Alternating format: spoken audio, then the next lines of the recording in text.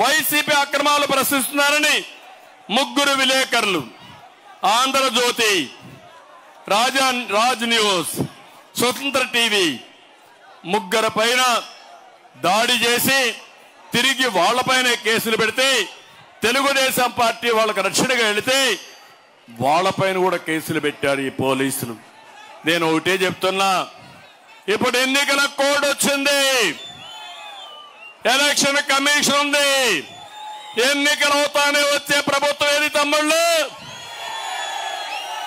అన్ని సర్వేలు ఘోషిస్తున్నాయి.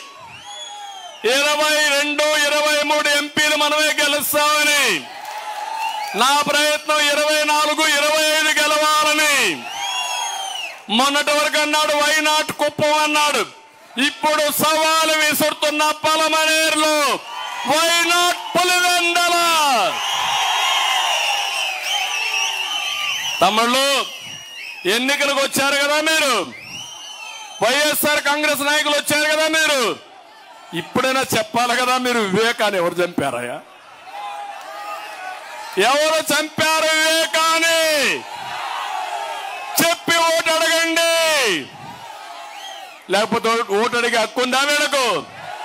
తమ్ముళ్ళు రేపు మీ బాబాయ్ గీత కూడా ఏమవుతుందో ఒకసారి ఆలోచించుకోండి.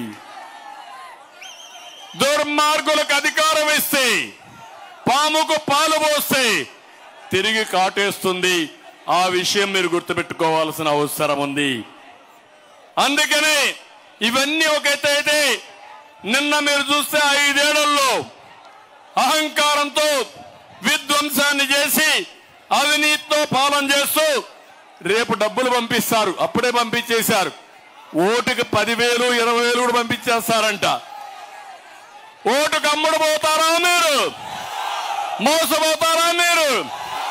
మీ అవినీతి డబ్బులు మాకొద్దని చీకొట్టమని మరొకసారి అందరికీ విజ్ఞప్తి చేస్తున్నా. చేస్తామంటే ధైర్యంగా చప్పట్లు కూడా చెప్పండి మేము చేస్తామని. ఆ డబ్బుల వల్ల మన జీవితాలు మారవు. పది రూపాయలు ఇచ్చి వంద రూపాయలు దోచుకోవడం కంటే వంద రూపాయలు సంపాదించే మార్గం చూపించే పార్టీ తెలుగుదేశం పార్టీ దానికి ముందుకు రావాలి. నిన్ననే మీరు చూశారు రెండు సంఘటనలు. కాకినాడ శివాలయంలో పూజారిపై వైసీపీ నేత దాడి. కడాన పూజారిని కూడా వదిలిపెట్టడం లేదు. మళ్ళా దాన్ని రాజీ చేస్తారు. అంటే కొట్టడం తిట్టడం దూషించడం బయట వస్తే రాజీ చేయడం రాజీ అయిన తర్వాత మళ్ళా వాళ్ళని ఏం చేయాలో చేసేయడం.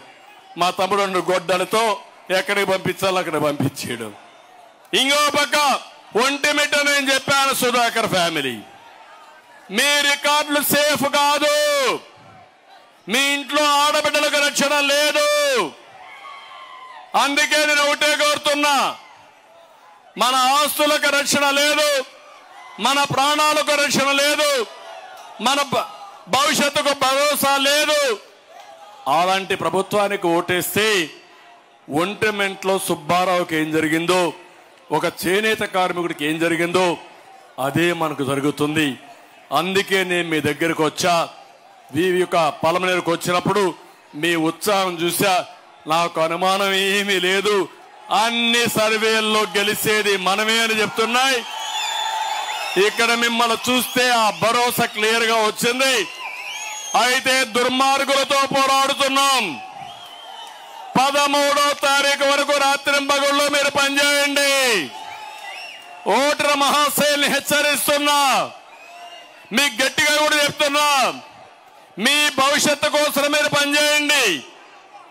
మీ పిల్లల భవిష్యత్తుకి మీ భవిష్యత్తుకి భరోసా ఇచ్చే కూటమి ఎన్డీఏ అందరినీ కాపాడుకునే బాధ్యత మాది మాది మాది అని మరొక్కసారి అందరికీ విజ్ఞప్తి చేస్తూ మొదటి మీటింగ్ చూసినాక చాలా నమ్మకం వచ్చింది. అదే మరి ఈరోజు కుప్పం నుంచి కవరేజ్ చేసుకుని పలంనేరుకు వస్తామంటే మీడియా ప్రమాదానికి గురి అయింది. స్వల్పంగా గాయ గాయపడినట్టు సమాచారం వచ్చింది. వారికి మెరుగైన వైద్య సేవలు అందించాలని కోరుతూ వారికి తెలుగుదేశం పార్టీ కూడా ఎందుకంటే మీడియా కవరేజ్ కాబట్టి నా ప్రగాఢ సానుభూతిని తెలియజేస్తూ మరొక్కసారి పలమనేరు ప్రజలందరికీ కోరుతున్నా మొదటి మీటింగ్ సూపర్ హిట్. ఇది అయిన తర్వాత బంపర్ మెజారిటీ వచ్చేట్టుగా మీరందరూ ప్రయత్నం చేయాలి. రాష్ట్రంలోనే అత్యధిక మెజారిటీ పలమనేరులో రావాలి. సిద్ధమాని మిమ్మల్ని అడుగుతున్నా. నాకెప్పుడూ గుర్తుంటుంది. మీరు తెచ్చే మెజారిటీ చూసి నేను మీకు అండగా ఉంటా. ఆ స్ఫూర్తినిచ్చిన మీ అందరికీ మరొక్కసారి పేరు పేరున నమస్కారాలు ధన్యవాదాలు. చాలా సంతోషం. చాలా రోజుల తర్వాత పలమనేరుకు వచ్చా మీ ఉత్సాహం చూసిన తర్వాత అనిపించింది ఎన్ని జన్మలెత్తి మీ రుణం తీర్చుకున్నా తీర్చుకోలేను.